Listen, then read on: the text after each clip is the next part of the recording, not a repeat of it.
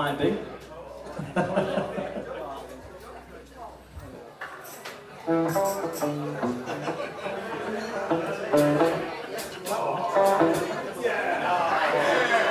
He's a tease, isn't he? He's a tease.